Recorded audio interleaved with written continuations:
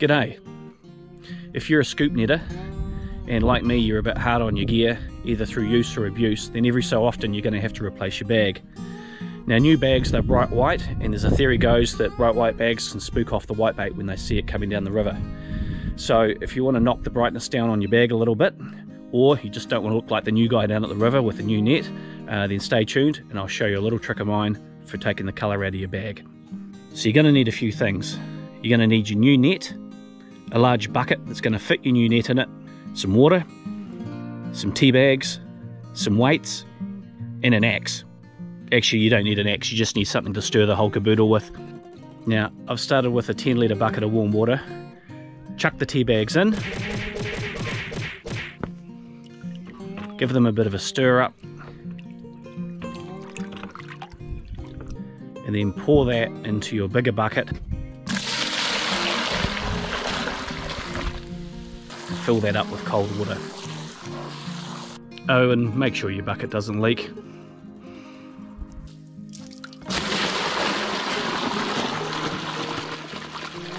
Now, just before I throw this one in the brew, just a couple of things I like to see in a scoop net bag.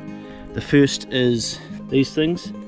They're a Velcro uh, tab to attach them onto your frame. Um, I find these to be really good. I've had ones before where they're just a piece of material which you tie in a knot. They tend to wear out.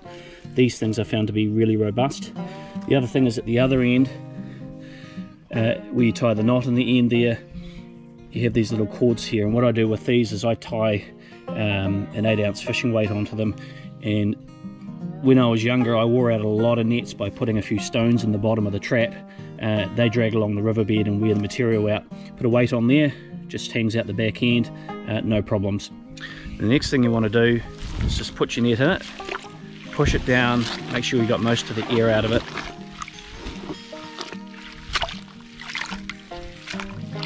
Then take your weights, and I've got spanners here, but uh, anything relatively uh, narrow and heavy is fine.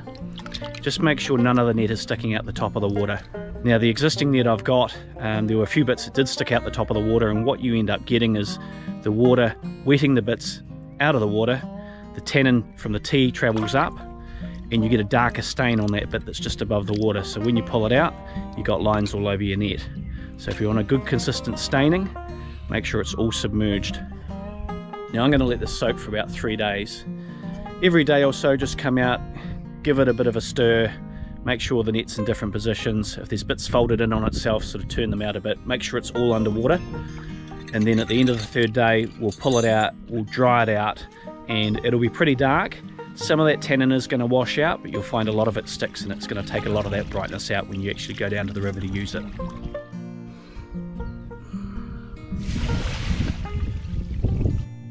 So the bag has been soaking for just under three days now. And we're going to take it out and put it on the line to dry it out. And you can see it's lost that brightness and it's soaked up some of those tannin colours from the tea bags.